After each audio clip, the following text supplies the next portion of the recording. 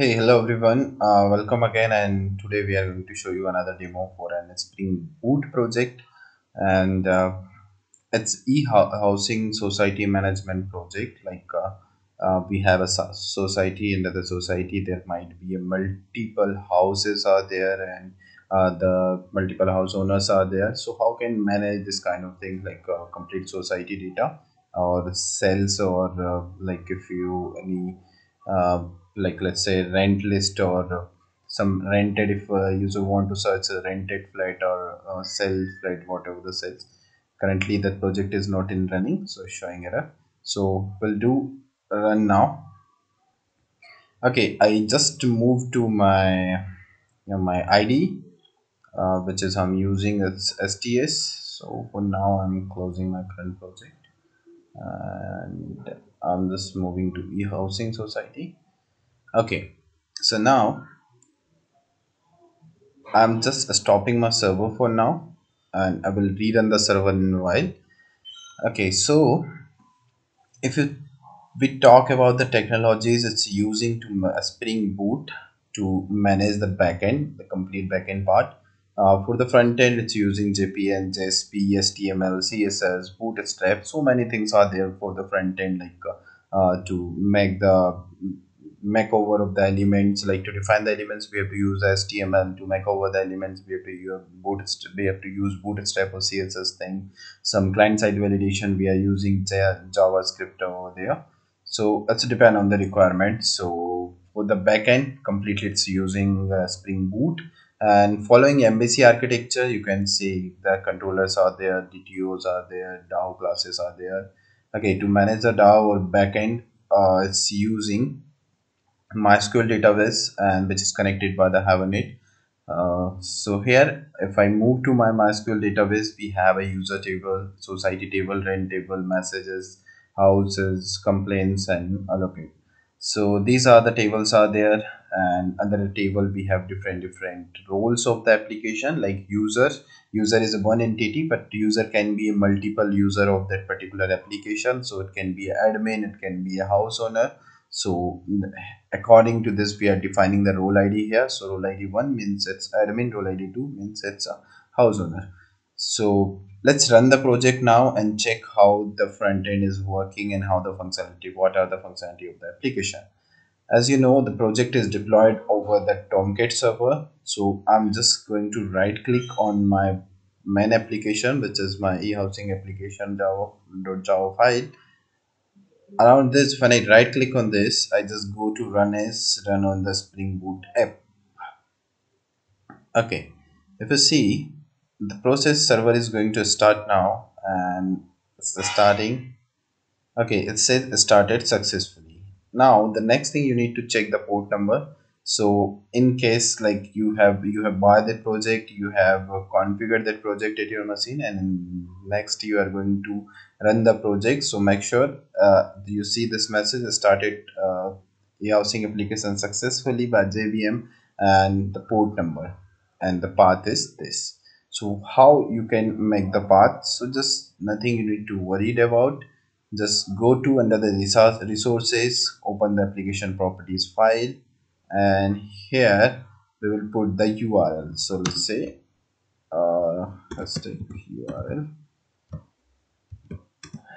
so currently i'm creating a url so i'm running localhost 8080 and after that i need to put this e-housing. Slash e-housing. When i enter this that application will load. So now we can consider this as, as a url so it will be url for your upcoming sessions. Okay. Uh, so project is run successfully. And now if i talk about the home page we have a header where we can contact us page. We we have a contact us page so user can fill this page and uh, contact to the admin. And other option under the footer section we have a login. Okay so we can log in as a user. And different different roles are there. Uh, when you see the login page we have a listed society. So in this application currently three societies are listed. So these are the list of societies along with that we have a search option to search uh, any society search by like search house by society or you can filter it by society you can filter it by uh, like in this society there is no house so it's showing now this.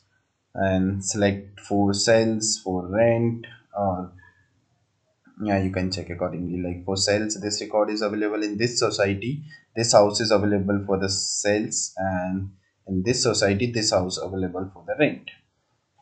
Along with if you click on the rent list you will get a detail of the rented houses in this application. So we have another option to add message. So you can add your message. That message will be displayed to the house owner. So let's say uh, whatever the house owner of this project like name is this and this is the email id so if i enter the message my name let's say and subject need house on rent and I enter my contact number so 1 2 3 4 5 6 7 8 9 10 and I enter some message and click on the save button. The message is saved successfully and that message will be displayed to the admin user. If I show you the database message table you will see the new database entry here. Once when we log in with this user or with this owner house owner he will get this message. Okay so uh, uh, similarly under the cells uh, cell list we have a option uh, we have all the list that houses are available for the sales. When we click on the add message again you can send the message to that house house owner. Now uh, let's log in and check the user roles one by one. Okay to view the user roles you just need to right click on the user table and select the first option you will get this. So as you can see the role id 1 we always use for the admin. So these are the credential for the admin. 1 to 3 for the admin user. And here we have a password for it. So i think i have clicked somewhere else. Okay. Yeah now what admin can perform? Admin can add a new society. Let's say some new society come to the application admin and they want to register into this. So i i, I enter let's say omax. And um, it should be a but we are using not using this name. So let's say new new society.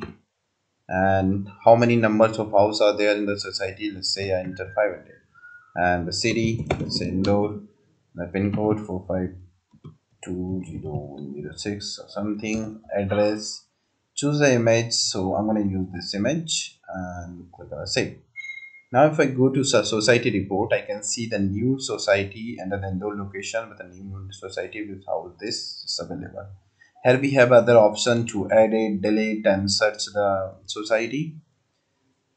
Another option admin can add a new houses. So let's say under the new society, I'm going to add a new house. So let's say house number 101 and the block A and the house type is 1 BHK, 2 BHK, 3 BHK. So let's say 2 BHK and I enter the detail and click on the save.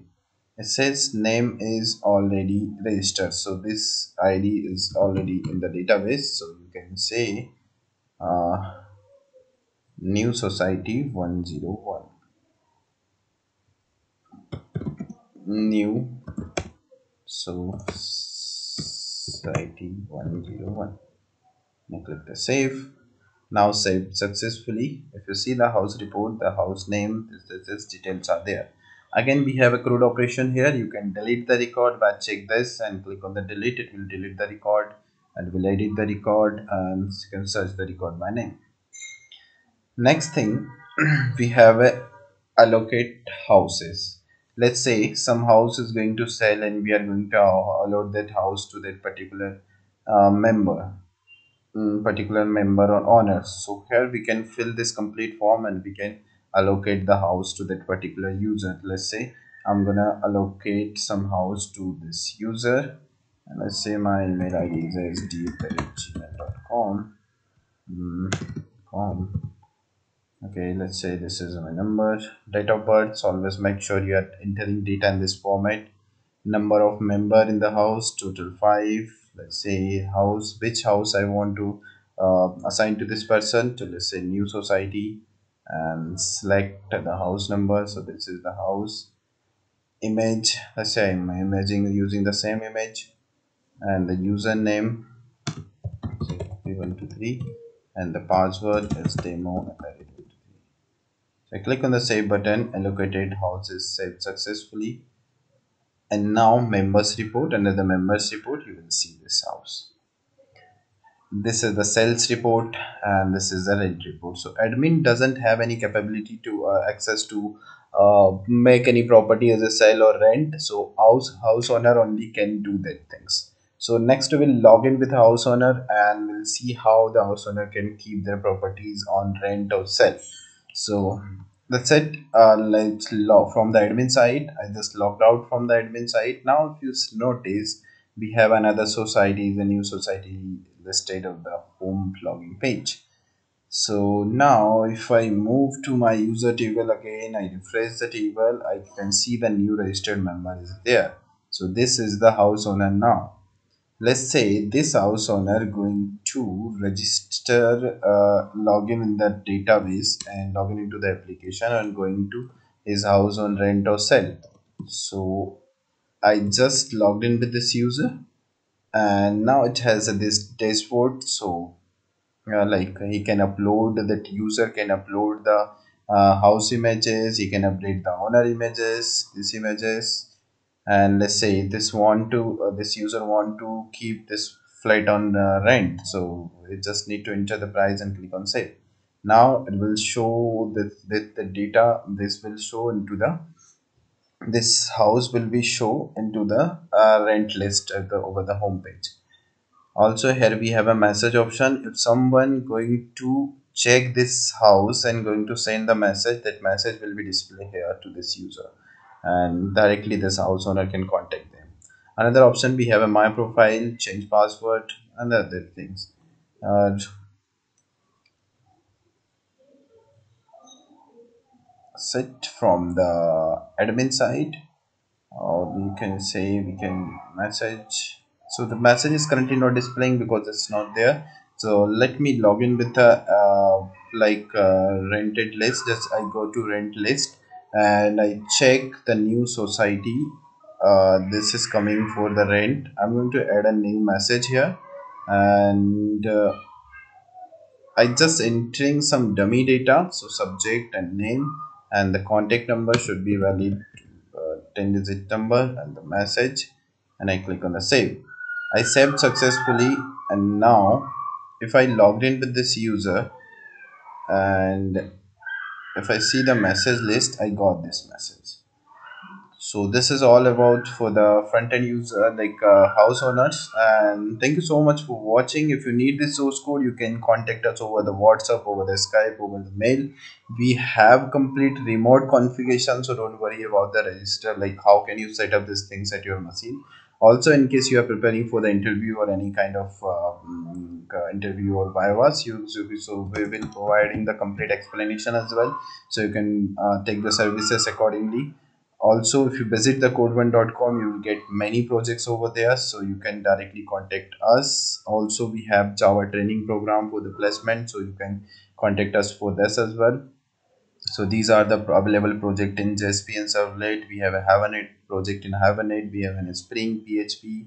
We have a project in Mean Stack development as well. Also, we are moving to uh, day by day to learn about the new technologies to grab the new technologies to help the students so just check it once and in case you need this you can contact us as i said again um, we have a configuration support so don't support so don't worry about the configuration things. We will take care of it for you. Thank you